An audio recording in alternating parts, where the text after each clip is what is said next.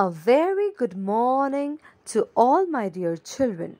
So, children, today we are going to begin with a new poem, and the name of the poem is All Things Bright and Beautiful. All things bright and beautiful all creatures great and small. All things wise and wonderful. The Lord God made them all. Each little flower that opens each little birds that sings.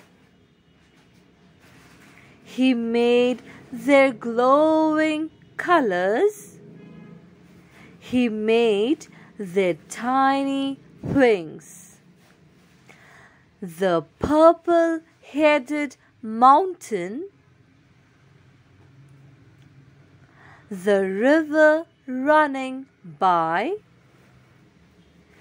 the sunset and the morning that brightens up the sky, the cold wind in the winter, the pleasant summer sun, the ripe fruits in the garden. He made them everyone. He gave us eyes to see them and lips that we might tell how great is God Almighty who has made all things well. Children, the poem All Things Bright and Beautiful of C.F. Alexander is a hymn to God for his bright and beautiful creation of the world of things. The Lord God has created all the things bright and beautiful. Creatures great and small, and all things wise and wonderful. He has given bright colors to each little flower that blossoms he has given tiny wings to each little bird that sings. The mountains, rivers, and the sky created by him are also bright and beautiful. The top of the mountain looks purple or bluish red during the sunrise and sunset. The river that flows near the mountain looks bright and beautiful because of the reflection of sun rays in the morning and evening.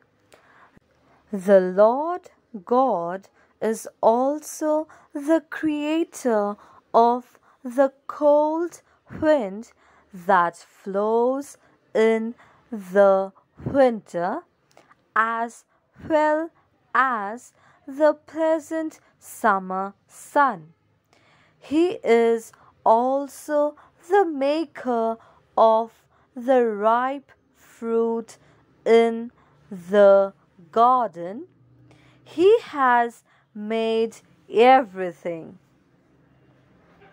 The poet has described the tall trees of greenwood, meadows, and rushes as a part of nature. In the greenwood, one can enjoy the beauty of the tall trees. It is a beautiful scene to see.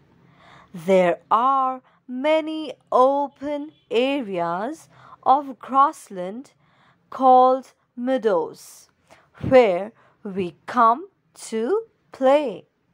The rushes have grown by the waterside, which are collected every day.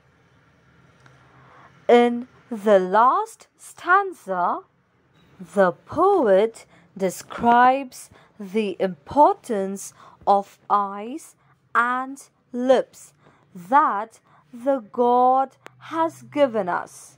He also describes the greatness of God who has made all things well. God has given us eyes to see all bright and beautiful things. He has also given us the lips so that we can tell and discuss His creations.